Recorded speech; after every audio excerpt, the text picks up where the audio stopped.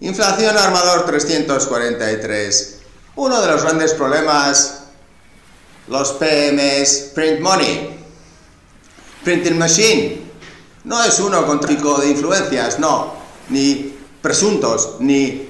Es un conflicto de interés. Es decir, si se imprime dinero, entran los políticos en el mercado laboral porque el sueldo de los trabajadores cae tanto como imprimen para sus propios salarios de los PMs la máquina y los 50.000 edificios públicos y otros 4 millones que no sabemos qué hacen cuando podrían ser sustituidos por Alexa.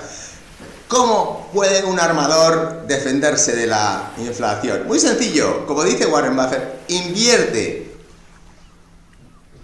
en tu flota, querido armador. ¿Cómo? Pues tenemos los CTAs en Candina, los contratos de embarque que hemos reducido algo así como de 15 páginas a 4, porque nosotros los realizamos en los 70 con Filipinas. Todavía siguen descontando un 20%.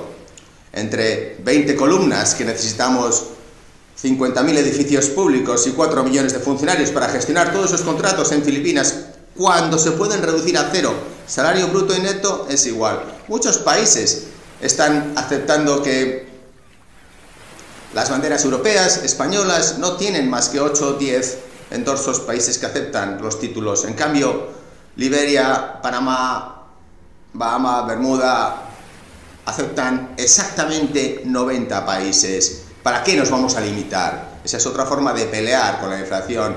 Invierte en tus estrategias.